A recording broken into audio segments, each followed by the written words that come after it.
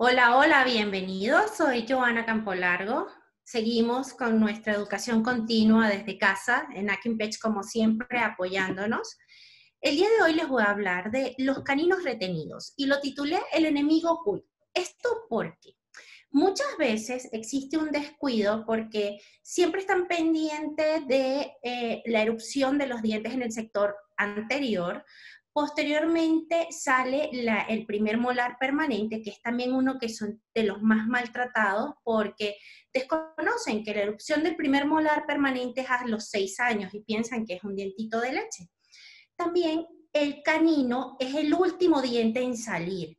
Entonces, muchas veces no tenemos espacio o ven ese dientecito y dicen, no, ahorita lo van a mudar pasan los años, pasan los años, y este canino puede llegar a traernos estragos y a causarnos bastante problemas.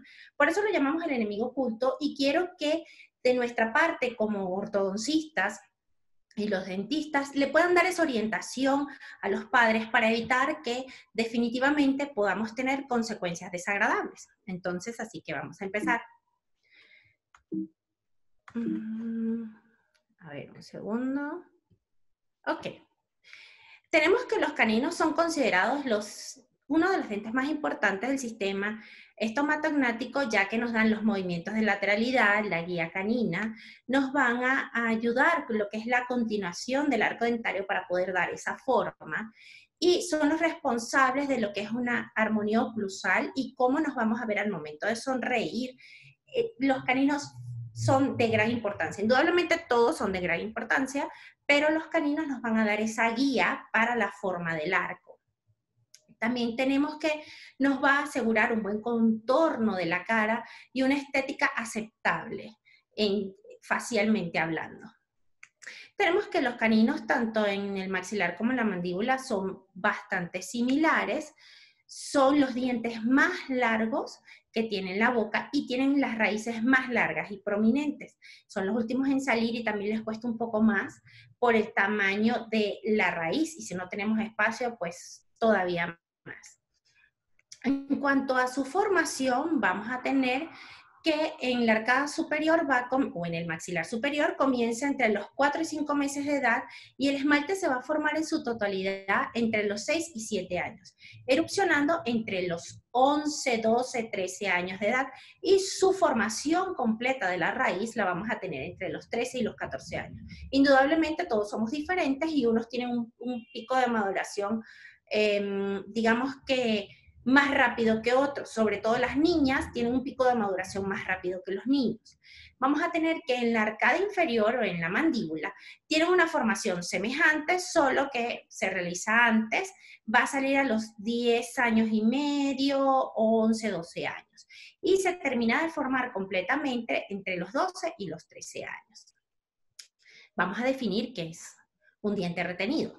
Simplemente es aquel que está formado parcial o totalmente, pero queda alojado en el interior del maxilar o la mandíbula y permanece allí mucho después de que es su periodo normal de erupción. Entonces, estamos hablando que nosotros debemos tener precaución entre los 11 años y los 14 años más o menos de hacer estas evaluaciones periódicas para determinar si realmente el canino está retenido o si simplemente es una erupción tardía. En cuanto a su etiología, vamos a tener unas etiologías generales y unas locales. En cuanto a las generales son poco común, podemos hablar de em, cuando los pacientes han estado sometidos a radiaciones, eh, problemas metabólicos, pero en sí los aspectos más comunes son los aspectos locales. Como tenemos una cuando tenemos una discrepancia en el tamaño de la longitud del arco, cuando no se han desarrollado bastante bien los maxilares, que hoy en día es bastante común porque llevamos una dieta bastante blanda y no estimulamos ese crecimiento del maxilar, que es algo que siempre estamos diciendo. Necesitamos tratar de estimular el desarrollo de los maxilares en edades tempranas. También una retención prolongada del canino, bien sea que pasa mucho tiempo el canino deciduo de leche o que lo pierde de manera prematura. Aquí hay que hacer un, digamos, tener una alerta. Si lo pierde de manera prematura, tenemos que tratar eh, de orientar a los padres a que mantengan el espacio de este canino.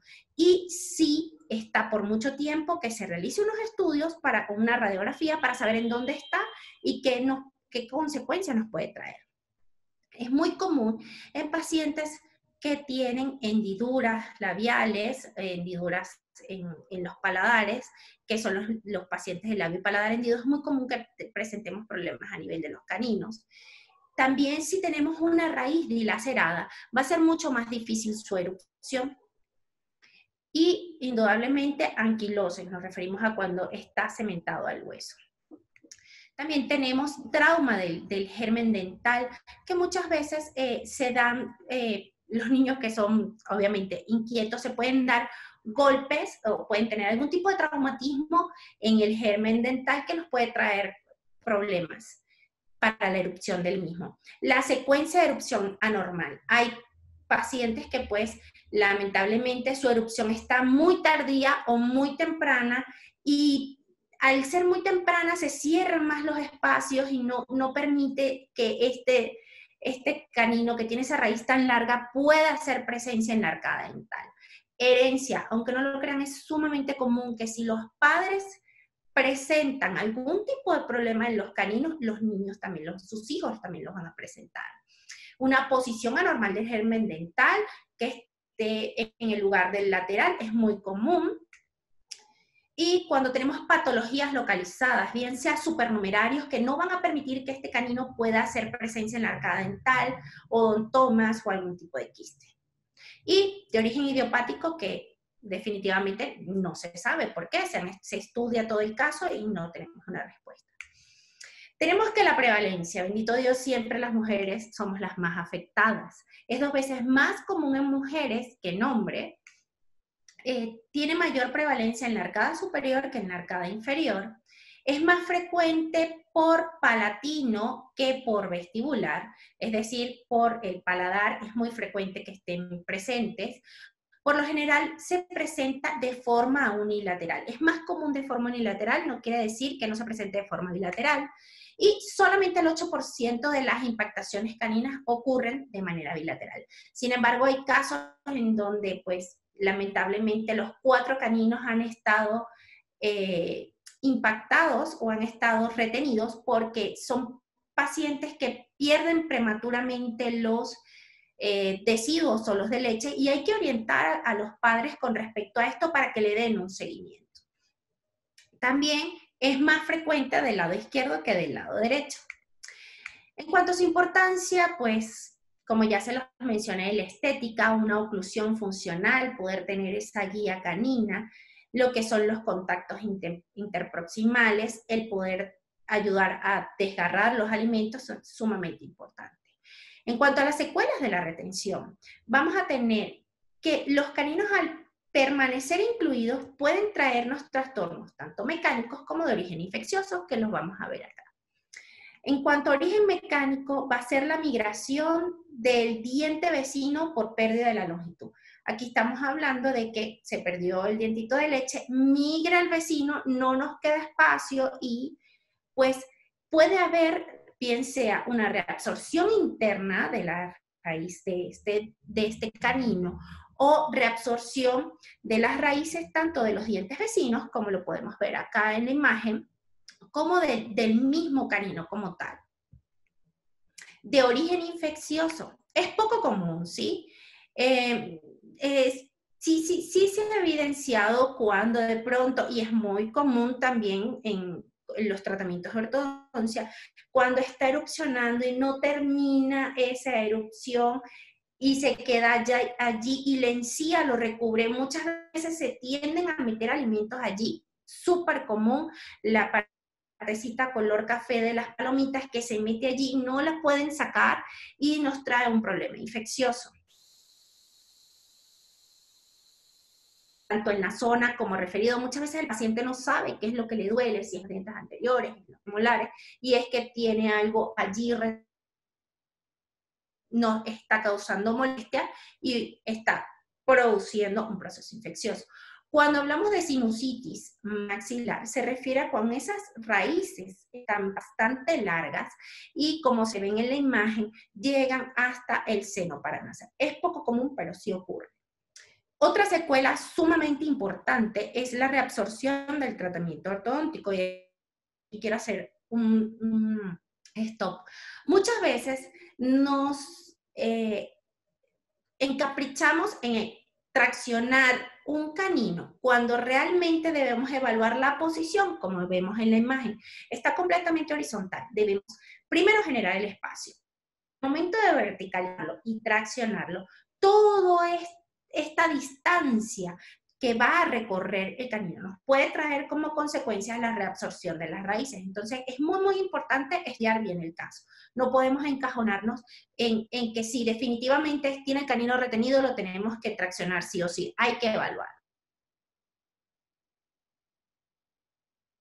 clasificación es del doctor Trujillo Fandiño, que me pareció bastante, bastante buena, donde nos explica ¿Cómo van a estar? Tenemos una posición número uno, que es la corona se encuentra a nivel del tercio cervical de los dientes adyacentes, como lo vemos en la imagen. Este es mucho más sencillo de traccionar, bien sea que esté por vestibular o por palatino, es mucho más sencillo de traccionar y bastante más rápido.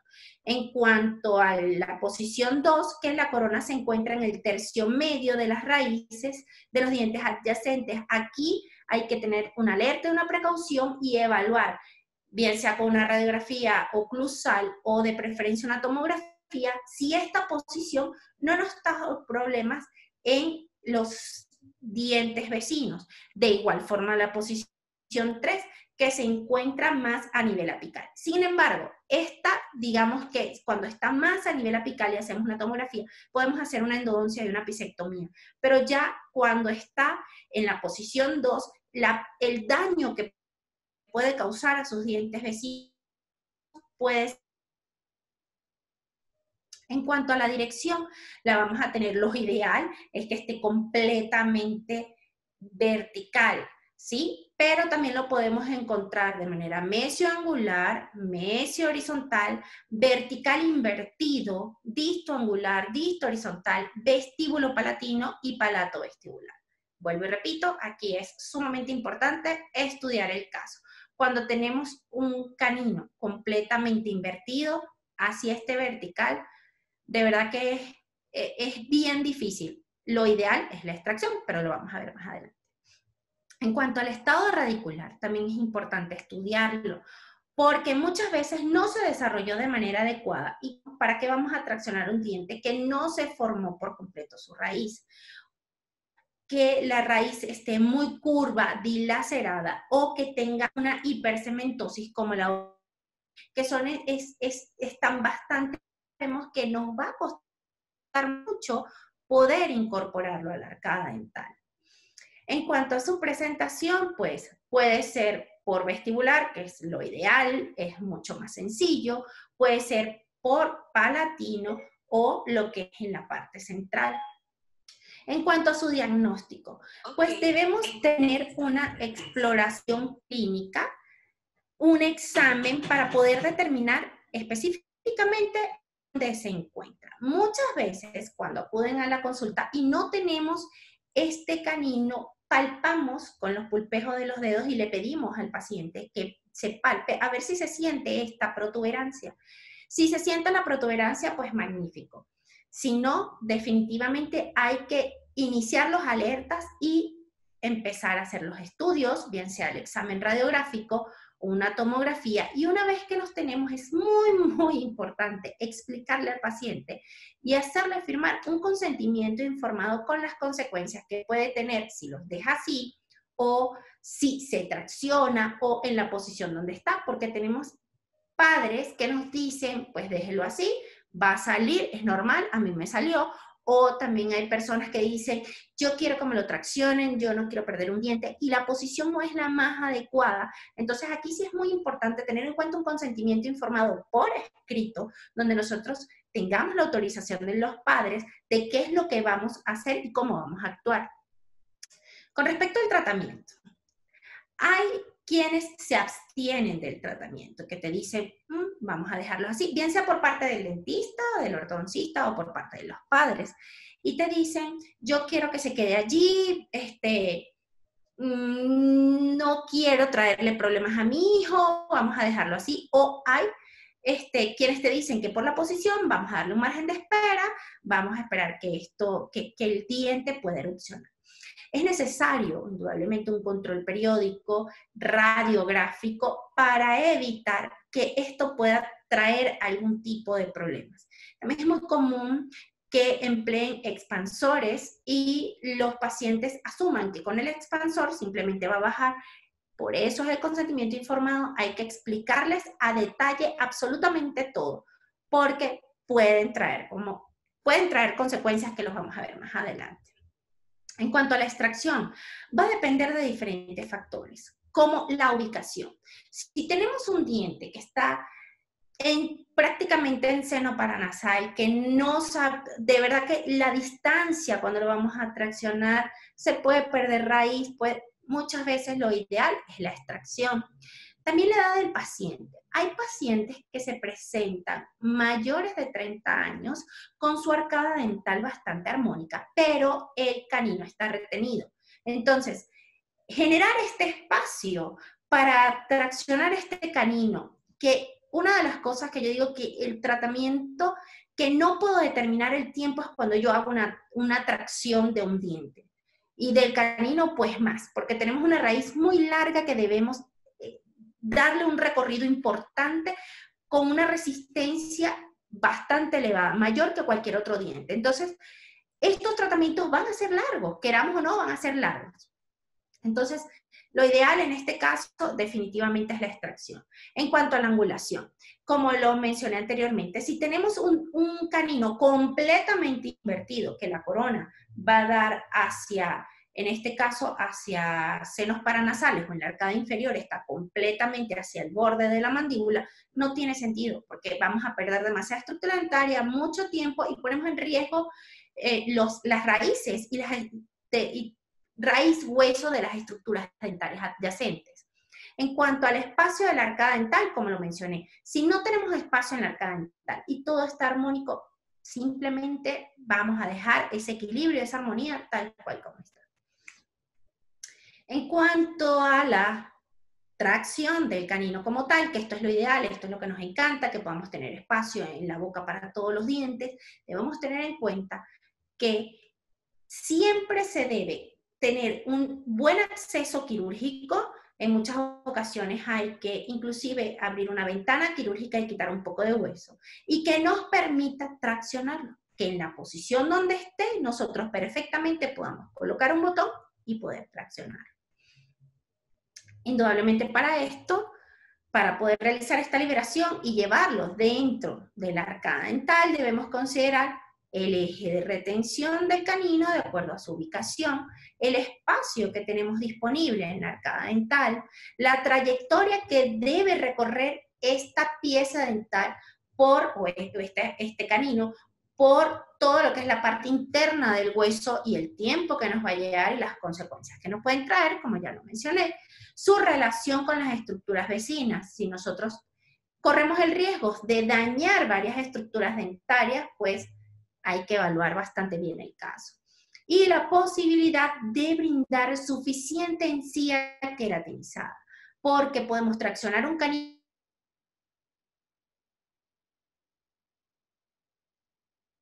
tenemos que hacer luego em, injertos, debemos darle como una buena forma porque al sonreír se va a ver y es sumamente importante.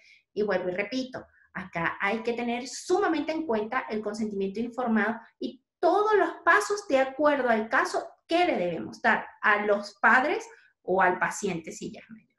Entonces, resumiendo, las posibilidades para poder traccionarlos van a estar eh, la posibilidad o la disposición de una buena exposición quirúrgica, lo que es el anclaje del diente, que lo podamos este, tomar, que le podamos colocar su botón, y la mecanoterapia que debemos emplear para poder incorporarlo en la arcada dental.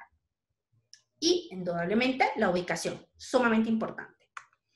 Aquí les muestro un video donde se ve lo más común, que está en el paladar. Acá abocardamos la encía.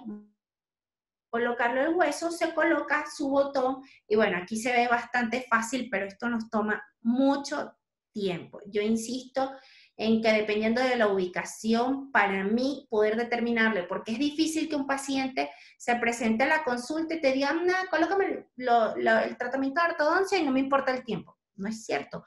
Todos están preocupados por el tiempo. Y es importante aquí destacarles que si tiene un canino, de acuerdo a la ubicación, ¿cuánto tiempo nos vamos a tardar? Porque debemos ser claros y explícitos y todas las consecuencias que esto puede traer, porque muchas veces el paciente se fastidia, no vuelve a la consulta y cuando reaparece las consecuencias son devastadoras. Les voy a mostrar, de hecho, unos casos clínicos donde precisamente resumo todo lo que, lo que he estado hablando. Y es que en este caso en particular es una paciente de 14 años que se me presentó así. Ya tiene algún tiempo, por eso pido disculpas por las radiografías, no son las mejores. Esta paciente, quiero entender que el ortodoncista que lo estaba tratando le colocó un expansor para poder generar el espacio, porque pues ahí se ve que a pesar de que ya el tornillo se abrió lo suficiente, no tenemos espacio para el canino. Lo lógico es, bueno, primero creemos el espacio para luego traccionar el canino. Simplemente la paciente me comenta que no volvió a los controles, no volvió a la consulta porque se mudaron de ciudad y bueno, en fin. Cuando veo, pues obviamente ya tiene una mordida borde a borde y hay que tratar de llevarle la eh, poder lograr este overjet y este overbite, poder llevarle lo que es la arcada superior hacia adelante, la inferior hacia atrás, y al ver las radiografías, ah, bueno, aquí lo podemos ver mejor, lo que es la mordida borde a borde que necesitamos mejorar y cruzada posterior. ¿Por qué? Porque tuvimos mucha expansión y no tuvimos control. Entonces, si se ve del lado izquierdo, podemos ver cómo tenemos, bueno, de frente a la pantalla del lado derecho, una mordida cruzada porque tuvimos una expansión transversal, pero no se controló la anteroposterior, simplemente la paciente no siguió yendo a controles. Si ahí se fijan, el color de, de, los módulos está, mm, ya, ya, ya pasó un tiempo. Y ella pues sí comentó que no, no se mudaron, que le restaron importancia y fíjense. Cuando tengo la radiografía panorámica, obviamente no puedo ver el canino porque está, está la, el, este, este expansor que le pedí a la mamá que necesitaba antes de realizarse los estudios poder quitarle el aparato y no quiso. E, es muy importante explicarle los casos y tener un consentimiento informado. No quiso porque el doctor le había explicado que puede retroceder, sí, pero yo necesito tener una mejor visualización. Como les digo, pues esta radiografía tiene algunos años y la imagen no es lo más nítida que queramos, que, que podamos ver. Sin embargo, acá cuando veo en la lateral de cráneo, si se fijan, el canino aparentemente reabsorbió una parte importante del incisivo central. Se lo explico a la madre, le digo que necesitamos eh, retirar el aparato, tomar radiografías y ver por qué la posibilidad de que pierda el diente va a ser elevada. Pues la mamá se perdió, no volvió sino posteriormente, un año después, diciéndome, bueno, tiene razón, a mi hija se le empezó a aflojar el diente, y pues lo perdió. Acá lo que se le explicó, acá estamos viendo, fíjense dónde estaba. No, no, me, no, no me trajo el dientecito, siempre se lo pedí para tomarle foto y poderlo documentar. ¿Cuánto fue lo que perdió? Me imagino que perdió una parte muy, muy importante de la raíz, porque para que ella haya perdido este incisivo, pues sí fue una pérdida importante. Eh, llegué a un acuerdo con ellas porque ya para esta fecha había pasado, como les mencioné, un año, ya la niña tenía 15 años, imagínense 15 años y haber perdido un incisivo central, es bastante complicado y siendo niña más estaba bastante tímida, no quería hablar. Bueno, llegamos a, le expliqué que como ya tenía el tratamiento íbamos a colocar un arco bastante más grueso para poder traccionarlo más rápido, pero que necesitaba paciencia, pues, obviamente. Y empezamos lo que es la parte, se descubrió quirúrgicamente, empezamos la tracción, se limpió bastante bien la zona y colocamos lo que es el botón para empezar a traccionar el diente. Y acá vemos, eh, lamentablemente estuvo bastante tiempo porque a pesar de la posición en la que está, traccionar un canino no es tan sencillo como les dije, o sea, la raíz es bastante larga y nos toma un tiempo y pues si la paciente estaba algo deprimida, como pueden ver acá, no incorporé en ese momento lo que son los primeros molares, me importaba más poder traccionar el canino para ayudarle en la autoestima y posteriormente poder maquillarlo y darle una mejor aceptación del problema que ya tiene, que se pudo haber evitado, pero bueno. Acá vemos de nuevo cómo está la tracción. Acá ya está eh, presente en boca. Le quitamos una del lado izquierdo, le, quitamos, le abrimos una ventana quirúrgica para poder realizar este bypass que tenemos acá una vez que ya lo tengo incorporado por completo, se le coloca lo que es el bracket y acá estamos viendo cómo ya tiene su ortodoncia en la arcada inferior.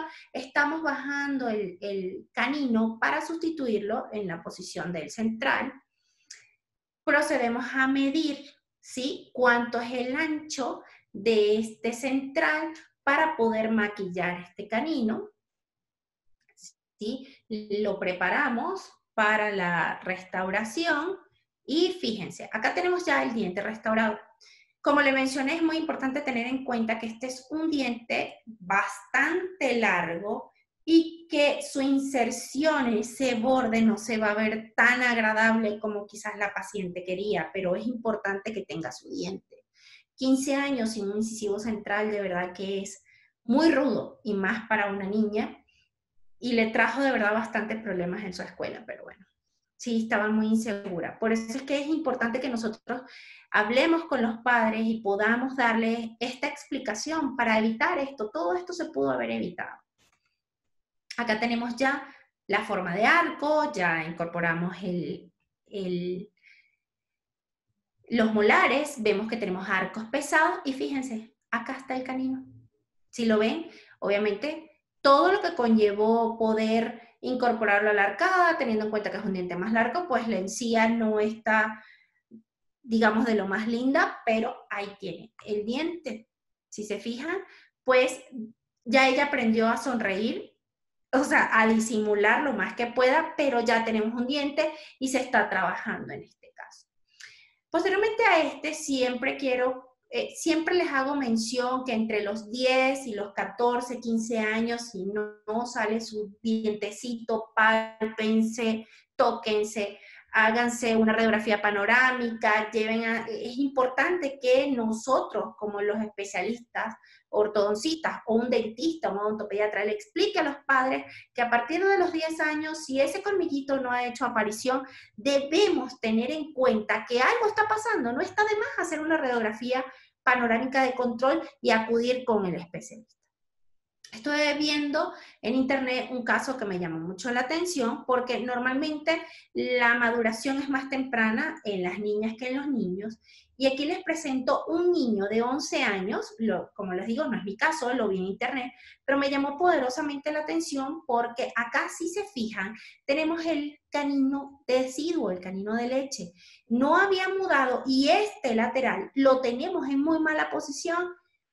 Y bueno, cuando lo llevan a la consulta, fíjense, no tenía el espacio los caninos para erupcionar, lamentablemente no le prestaron la atención adecuada porque es, decían, ah, bueno, ya mudó todos los dientes, como les mencioné, el canino es el último diente en hacer aparición en boca, por lo cual, y una raíz muy larga y peligrosa, por lo cual debemos tener precaución. Ella va a hacer su esfuerzo por salir, como lo vemos acá, y lamentablemente se reabsorbieron las raíces de esos laterales, trayendo como consecuencia, pues, la pérdida de los incisivos laterales. Acá lo podemos ver. Entonces, acá les traigo también otro caso. Bueno, quiero terminar este. Entonces, es muy importante que nosotros como ortodoncistas, los odontopediatras, que son los que tienen mucho más contacto con los niños, le, le, hagan saber a los padres que desde los 10 años no está de más tomarse una radiografía panorámica de control para ver cómo viene la erupción de esos dientes si están en buena posición o no y si podemos simplemente esperar, porque lamentablemente, como ya los mencioné, hoy en día comemos cada vez más cosas más blandas, no le damos ese esfuerzo a los maxilares y presentamos más maloclusión, cada vez perfiles más rectos, eh, mm, arcadas dentales más estrechas y no tenemos espacio. Entonces, ya salieron los incisivos centrales y los laterales, ya no salieron los premolares, ya tenemos el primer molar permanente que sale a los seis años y el canino. Por lo general, y está, hay mucha frecuencia de caninos impactados hoy en día. Indudablemente los terceros molares, que es el último molar en hacer aparición en boca, es el más común que tenga impactación o impactación, retención o que no tenga espacio. Pero seguido a esto nos vienen los caninos, así que debemos tener la precaución adecuada para esto. Así que, por favor, a partir de los 10 años, indiquemos una radiografía panorámica que no está de más, poder lograr lo que realmente queremos, que es evitar perder estructuras dentarias, poder tener nuestro canino dentro de la arcada dental y sonreír de una manera armoniosa y vernos bellos, porque qué, qué rico es sonreír. Ahora bien, también tenemos el caso porque hay quienes tuvieron esa experiencia y como lo mencioné anteriormente, también es herencia. Tenemos el caso, este caso que les voy a presentar, fue un caso que me llegó de un niño que su padre perdió el canino y que su papá siempre estuvo traumado, acá se los muestro, su papá siempre estuvo traumado porque no se le veía, tiene una prótesis removible, tenía el espacio, bendito Dios tuvo el espacio para, para el canino, pero lamentablemente perdió el canino muy joven. Y su hijo, al, al ver el padre que tiene este dientecito de leche, porque Obviamente no, los papás no saben de la anatomía dental, entonces ve, ay, perdón, ve que acá tenemos el canino bien formado y acá no, es un diente de leche, nunca lo mudó, siempre estuvieron al pendiente.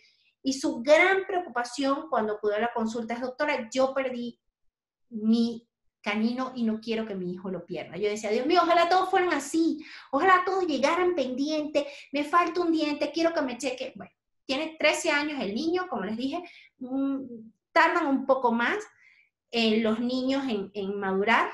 Acá vemos lo que es la posición del canino, está por detrás del lateral. Afortunadamente no tuvo ningún tipo de problemas, no afectó la raíz a pesar de la posición que está en el tercio medio, en tercio cervical. ¿Y qué hice yo? Sí, perdón, si vemos acá, eh, no tiene las raíces completamente formadas, por lo cual no es conveniente colocar un tratamiento de ortodoncia, porque si nosotros colocamos el bracket y hacemos un movimiento dental sin haber conseguido ese cierre de la raíz, en el mejor de los casos, hasta allí se desarrolla la raíz. En el peor de los casos podemos tener una reabsorción. No sabemos cómo va a reaccionar el organismo hasta que esto ocurre. Por lo que lo ideal es no colocar un tratamiento de ortodoncia hasta que no tenemos las raíces completamente cerradas. ¿Ok?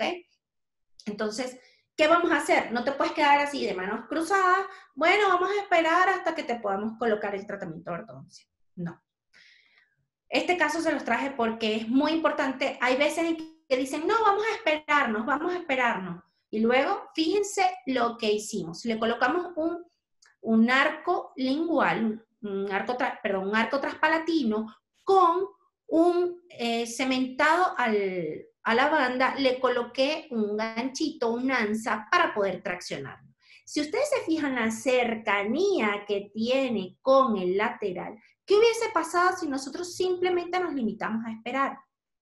Lo puede perder, lo puede lesionar, le puede traer daños en el cuello del lateral, en fin. Así que si no se puede colocar el tratamiento de ortodoncia, vamos a buscar un plan B. Acá le coloqué, se lo cementé y al abrir obviamente hubo mucha sangre, por lo cual tuve una segunda cita donde le coloqué su botón, como lo vemos acá, con aletas para poder traccionar. Acá lo vemos, ¿sí? Fíjense la posición, empezamos a traccionar, tuvimos sus consultas, el paciente súper juicioso, acá ya lo tenemos en posición, no, no es la ideal, indudablemente este paciente va a requerir tratamiento de ortodoncia, pero ya incorporamos este canino a la arcada dental. Acá lo vemos, ¿sí? perdón, acá vemos cómo tenemos el canino, le, estamos, le permitimos que se forme esta encía y que vaya cubriendo el borde. Tenemos un buen crecimiento de la raíz, sin embargo, en lo particular, cada quien tiene su manera de trabajar, no me gusta iniciar tratamiento de ortodoncia si no presenta los segundos molares. Y si vemos acá, esta cúspide del segundo molar ya viene en, mala posición, entonces preferí dejarlo descansar, le quité su arco traspalatino, le dije que volviera al año y acá tenemos ya el paciente con los segundos molares, fíjense la posición que tenemos, ¿sí? Ya tiene espacio, su canino tiene buen contorno, fíjense acá, y está de la mejor manera ya listo para iniciar el tratamiento de ortodoncia. Entonces, no quiere decir que si el paciente no está en edad para iniciar el tratamiento de ortodoncia, no podemos traccionar el canino. O si el paciente no se le colocó un expansor, espera a que esto baje. Por eso el título, que el canino retenido puede ser un enemigo oculto. Así que esto es una alerta, doctores, una alerta. Tenemos que a partir de los 10 años evaluar radiográficamente para ver cómo viene en esa erupción. E incluso muchas veces se palpa, pero no termina, la mamá te dice, sí, se lo siento, pero no termina de bajar no esperemos. Vamos a tomar medidas. Así que bueno, espero con esto poder darles un mensaje a todos los colegas, a los padres si nos están viendo, a que por favor no descuiden la salud bucodental, acudan siempre a su dentista y a partir de los 10 años no está de más realizar una radiografía panorámica de control para evaluar cómo van a venir estos dientes. Y ahora que lo sabes, que el canino tiene la raíz tan larga y que cada vez tenemos menos espacio, no nos descuidemos, porque las consecuencias pueden ser devastadoras. Ya vimos que se pueden perder una, dos, incluso hay casos de cuatro caninos retenidos. De verdad que lamentablemente mucha mala suerte, pero pues sí ocurre. Así que no nos descuidemos. Ay, perdón, esta imagen se me fue. Ah, perdón, ya. Con, con esta imagen me despido, de verdad. Muchísimas gracias. Y pues espero sus comentarios. No nos dejen de ver por el canal de Akin Pets y cualquier duda, escríbanos que les estaré respondiendo. Muchísimas gracias. Soy Joana Campolargo, ortodoncista, y nos vemos en una próxima plática. Feliz día.